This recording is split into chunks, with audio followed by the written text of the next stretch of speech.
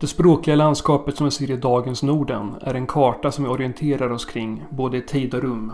Vi har ett nordgermanskt dialektkontinuum med flytande gränser mellan svenska, danska och norska som täcker huvuddelarna av området. Och muraliska språk som finska och samiska i norr och öst. Uppdelningen, om än med vissa förskjutningar de senaste århundradena, står sig tämligen bekant ända tillbaka till de äldsta medeltida källorna och man ser en tydlig kontinuitet som sträcker sig bakåt. Men ju längre tillbaka tiden vi går, desto grumligare blir källäget, kunskapen och därmed även om hur vi orienterar oss mellan olika folk och språk sett till Nordens geografi.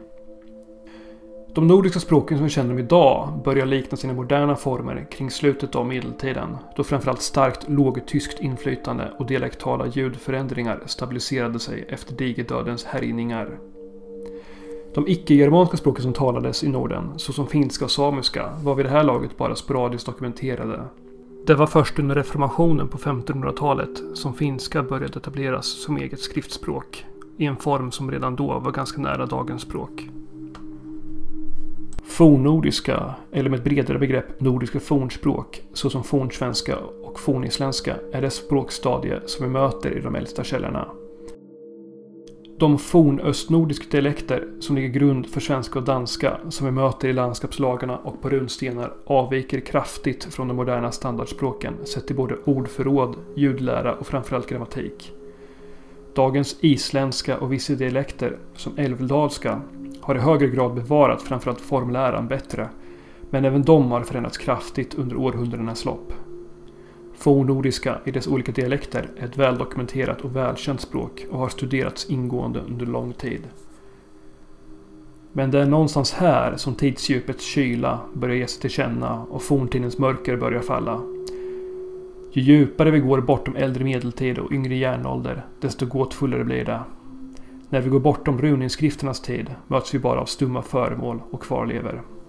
De första människorna i Norden kom i takt med att inlandsisen smälte undan men då befinner vi oss så långt tillbaka att vad de faktiskt talade är det ren spekulation. Och troligen är deras genetiska släktskap med dagens befolkning försumbar.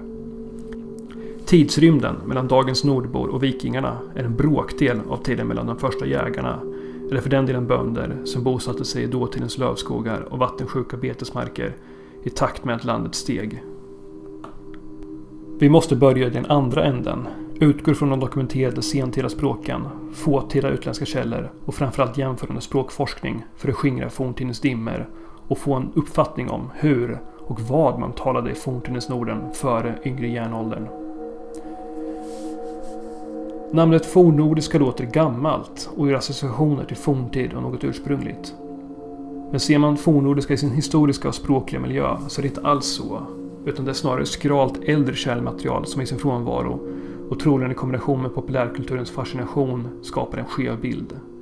Fornnordiska är snarare i praktiken ett medeltida språk som liksom besläktade kusiner som fornengelska och fornhögtyska stammar från ett mycket äldre språkstadie. De medeltida germanska språken är resultatet av kraftiga ljudförändringar, inte minst i form av vokalomljud och reduktion av obetonade stavelser under århundradena före deras skriftliga dokumentation. De allra äldsta runinskrifterna i den äldre runraden vittnar om hur de medeltida språken var minst lika förändrade som deras moderna efterföljare är gentemot dem. Sätter man fornsvenska ordformer i jämförelse med urnordiska ser man hur kraftigt språket förändrades under den så kallade synkopetiden som drabbade samtliga germanska språk, om än i olika takt och grad, under de kaotiska århundradena efter Västerroms fall. Det är genom de fåtaliga runinskrifterna, jämförande språkforskning och framförallt den mer avlägset besläktade östgermanska, gotiskan, som vi kan få en rekonstruerad bild av hur det äldsta germanska språket, så som det talades under järnåldern, uttalades och böjdes. Urnordiska, eller den äldre urgermanskan, skiljer sig kraftigt från senare germanska språk genom att språket hade avsevärt fler obetonade stavelser och därigenom en väldigt rik formlära som vi finner i mer konservativa indoeuropeiska språk som latin, klassisk grekiska eller än idag bland moderna baltiska språk som litauiska. Tillämpar vi de här metoderna får vi trots allt en ganska god bild av det språk som med tiden skulle utvecklas till svenska. Ungefär samtidigt som den klassiska antiken vid Medelhavet. För att röra oss längre tillbaka i tiden, mot urindoeuropeiska, hamnar vi i rena rekonstruktioner och det blir lätt att tappa fattningen om både tid och rum. Hur förstadiet till urgermanska såg ut på bronsåldern, då man hade en förhållandevis högstående kultur i Norden, är förstås ren spekulation. Men rimligen hade många av de germanska särdragen ännu inte utvecklats lika tydligt och språket låg fortfarande närmare andra indoeuropeiska språk. Urgermanska är en gren av indoeuropeiska språken som präglas av ganska säregna utvecklingar för framförallt verbböjning och konsonanter, vilket tyder på en ganska lång utveckling skild från andra grenar. Men detta var knappast det enda språk som en gång talades i det forntida Norden. Urgermanska är som sagt ett indoeuropeiskt språk, vilket begränsar tidshorisonten och ankomsten till Norden. De flesta brukar tidsfästa ankomsten av de första talarna i samband med stridsyxekulturen, alltså kring 2000-talet före vår tideräkning. Ungefär vid samma tid som det redan fanns stadsstater i Mesopotamien som sumererna, med andra ord historisk tid utanför Norden. Moderna studier av genetik har även kommit fram till att dagens nordbor väsentligen härstammar både genetiskt och språkligt från dessa tämligen sentida bosättare. Vilket såklart påvisar att det redan fanns andra folkgrupper och därmed språk i det vi idag kallar Sverige kring den här tiden. Och säkerligen en bra tid framöver.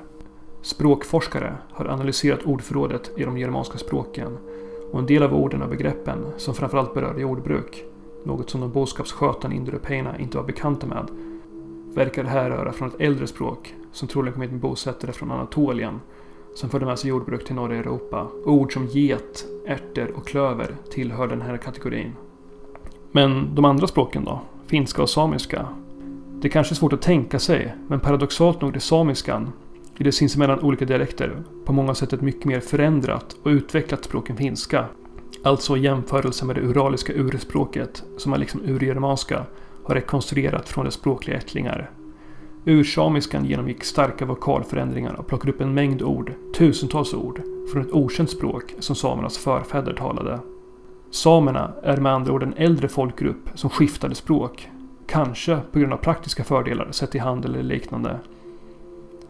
Och en stor del av inte minst ordförrådet för renskötsel och landskapet vittnar om spåren av det förlorade språket. Eller snarare språk, eftersom de olika lånorden vittnar om en stor dialektal variation från långivande håll. Ursamiska tog även in en stor mängd lånord från urnordiska. En intressant och tänkvärd sak i sammanhanget är att man utifrån kronologin för språkets ljudutveckling kan se att de här lånen skedde ungefär samtidigt. Det talades med andra ord ett helt okänt språk isolat, antagligen med kontinuitet från stenåldern, i Lappland så sent som på 500-talet. Samer har därtill även historiskt bott längre söderut. Så det är inte heller långsökt att detta urspråk en gång täckt ett mycket större område. Finska, som brukar framhävas som ett väldigt konservativt språk, har troligen talats länge i dagens Finland. Liksom samiska har även finska en mängd uråldriga lån. Men i det här fallet huvudsakligen på germanskt håll. Genom sin språkliga konservatism och stabila ljudform över århundradena har många av dessa uråldriga lånord, som räknas i hundratals, konserverats i sin form över 2000 år. Ord som kuningas, nauta, ortsnamnet Harjavalta ger en bild av hur svenska ord som kung, nöt och harald en gång uttalades. Men utbytet tros av vissa ha gått ännu längre än bara ord. Vissa språkforskare ser en tydlig koppling mellan fenomen i både urfinska och urgermanska såsom den liknar konsonantväxlingen i den finska stadieväxlingen och den germanska Wernerska växlingen. Starka paralleller mellan hur de båda språken en gång utvecklades kring ungefär samma tid pekar på att talarna bodde nära varandra under lång tid och att de hade ett starkt språkligt och kulturellt utbyte, vilket den stora mängden lånord i urfinska onekligen ger bevis för. En del gåtfulla ord, som delas av både urgermanska och urfinska, tillskrivs även tidigare folkgrupper, såsom ordet säl som enligt språkforskare antagligen lånades från en utdöd fångstkultur i Östersjön.